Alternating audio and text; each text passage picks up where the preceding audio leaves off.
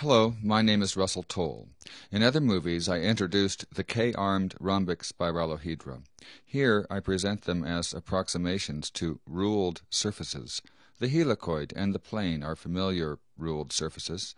Here, a transparent four-armed spirallohedron and a helicoid seem to orbit one another. The rulings of K-armed spirallohedra are at right angles to the axes of K-fold symmetry and form a series of regular K-gons of various sizes.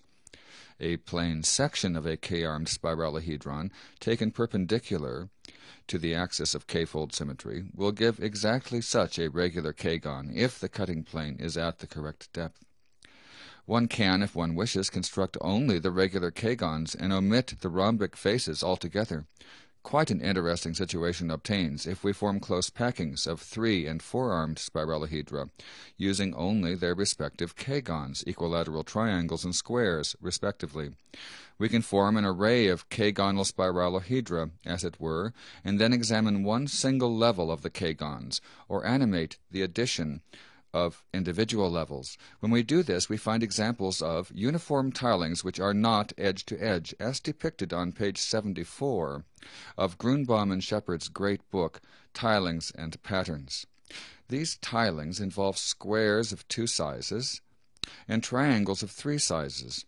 If there is a four-dimensional analogy to the K-armed spirallohedra, we might find that solid sections of packings in the four space give uniform tilings of polyhedra, which are not face to face.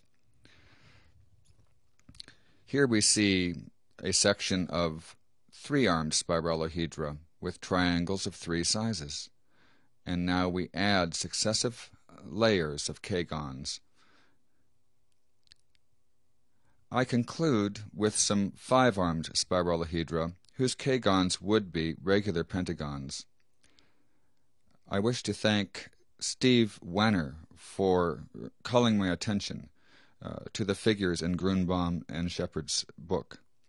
Thank you very much.